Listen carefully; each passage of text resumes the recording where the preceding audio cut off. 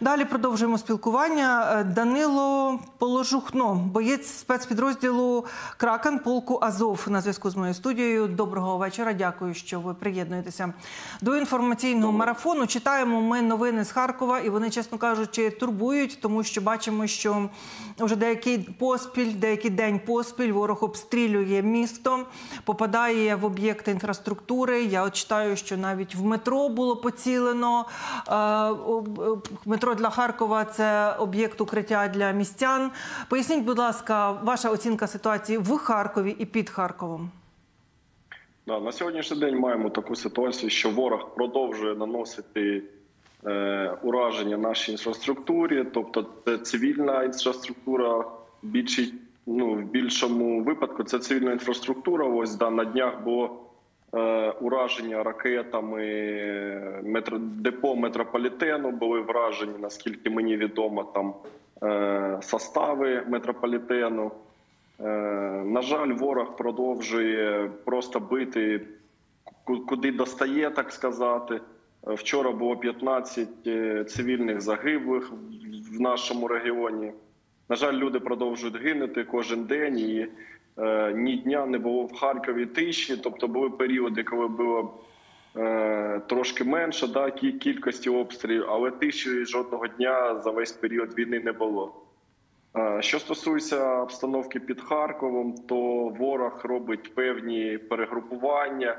Ми бачимо переміщення їх сил та засобів, і ну ми готуємось до можливого там е, контрнаступу з боку ворога, але ну запевняємо всіх, що в них нічого не вийде, і ну ми в повній бойовій готовності готові давати відпір на напрямку на нашому.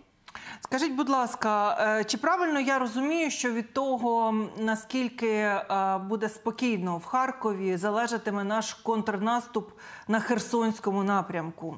Чи пов'язуєте ви е, ну, ці, дві події, ці дві точки, ці два міста? Ворог не дає спокою на Харківщині, щоб зупинити просування збройних сил України на Херсонщині?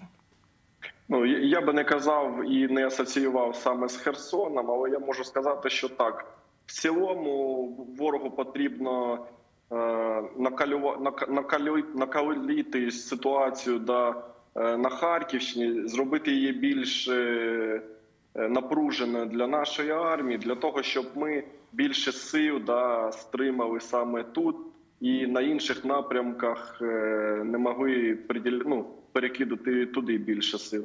Так, звісно, певна кореляція є, але я б не асоціював би саме з Херсоном.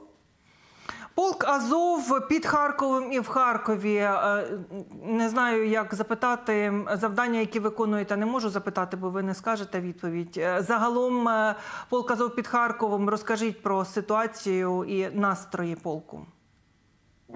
Загалом наш спецпідрозділ виконує різного рівня завдання. Це як звільнення населених пунктів, так і розвідувальні диверсійні завдання. Тобто, ми працюємо на всій Харківщині. В нас наші групи працюють і. Ну не можу казати, але так сказати, не тільки на північному, да, а на, на, на східному, Е, Були там до Ізюму наші групи працюють, але ми е, при необхідності висуваємось куди ну е, куди є треба допомогти, да, куди потрібні сп- спеціальні завдання, туди ми висуваємося і надаємо допомогу побратимам. і виконуємо спеціальні завдання. Я от подивилася інтернет, готуючись до спілкування з вами, і бачу, що 5 лютого 2022 року, фактично за 19 днів до війни в Харкові проводилася акція протесту, проукраїнська акція протесту з великим жовто-блакитним прапором. Ви були співорганізатор цієї акції. Через 19 днів війна. От дві картинки Харкова та і нинішня. Які відчуття, що можете пригадати про ту акцію, і чи було відчуття тоді, що Харків буде в такому стані зараз? Е, Відчуття було, звісно. Ми розуміли, але ми не розуміли масштаби. Да, але ми розуміли, що буде війна. Ми готувались до неї дуже довго. Проводили весь 2021 рік. Проводили вишкали, готували людей. готували партизанів, готували людей, котрі будуть е, відкрито воювати, котрі будуть вести партизанську війну на окупованій території. Тому, в принципі, ми розуміли, що буде. Що стосується маршу, то дуже гарна була акція. Е, Одна, мабуть, з найбільших е, з 2014 року, без політики. Люди об'єднались тоді під е, одним прапором з одними цілями. Ми хотіли не допустити да, там, е, війни і показати, що Харків єдиний, що Харків це Україна. І ну я розумію, що зараз е, е, ну що то було дуже необхідно, да, і воно зіграло свою певну роль. Харків ну єдиним фронтом виступили перших днів війни. Всі об'єднались, волонтери, військові, і надаємо гідний відпір окупанту. Ну що ж, а нині е, Харків е, став більш проукраїнським містом. Як ви оцінюєте? Тому що ну принаймні керівництво міста ми бачимо відеозвернення і, і пояснення, що Харків це Україна, це проукраїнське місто. От які зараз настрої ненавидять ворога і Путіна? Е, Звісно, ненавидять. А що стосується з да там про владу, то зрозуміло, зараз вони менш заграють е, в ці ігри, да, з електоратом, з цими там е, совєтськими чи так сказати проросійськими легкими настроями, тими невеликими відсотками, що були тоді. Тоді електоральна влада на цьому грала місцева. Зараз, в принципі, вони розуміють, що це недопустимо.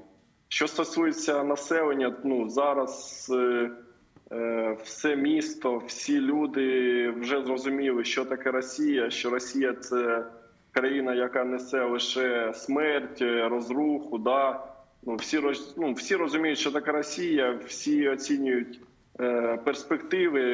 Ну що буде, якщо буде тут Росія. Тому ніхто не, не, не хоче і не буде тут е, чекати Росію. Всі виступають одним фронтом і не допустять просування в місто взагалі росіян. Скажіть, будь ласка, кожного азовця, який включається в ефір, я запитую про те, чи є якась інформація про ваших побратимів, які зараз знаходяться на тимчасово окупованій території ДНР ЛНР чи на території Росії, тих, кого вивезли із Маріуполя. Е, Озвучуйте ту інформацію, яку можна озвучувати в ефірі. Е, Хочу сказати, що так, що ми маємо інформацію, розуміємо, де вони, де хто з них знаходиться, а, але не більше. Тобто, ми не я не, маю зараз е, морального права коментувати, щоб все ж таки е, дуже хочеться, щоб хлопці поскоріш повернулись. Тому ну не хочу казати і зайвого слова, щоб все ж таки ну не зробити гірше. Е, Значить, е, питання тоді поставлю по-іншому. За вашою інформацією, чи нормально годують хлопців, чи отримують вони медичну допомогу, чи не піддаються вони тортурам? Оці три напрямки можете розказати? Не про обмін, не про місце перебування, нічого такого. Е, Ну зрозуміло, що дуже там в полоні дуже багато знаходиться. Ті, про кого я знаю, ну розповідають, так скажу, з з порівнянням, як ми відносимось, да, там як ми годуємо, як ми надаємо допомогу їх полоненим, і як вони, ну то зрозуміло, що бажає кращого, що відношення да, до наших все ж таки е, хлопців. Але все ж таки, ну, е, ну відносно те, що я знаю, нормально, але ну, треба хлопців доставати звідти. Ну, е, прийде час, хлопці повернуться і самі все будуть розповідати, як воно там насправді. Будемо сподіватися. Дякую за включення. Спасибі. Розумію, що е, навряд чи варто чекати від росіян хорошого ставлення, але хоча би нормального ставлення до е, наших людей варто очікувати. Так, будемо прощатися. Дякую. Данило е, Положухно, боєць спецпідрозділу полку Азов Кракен, був на зв'язку з моєю студією.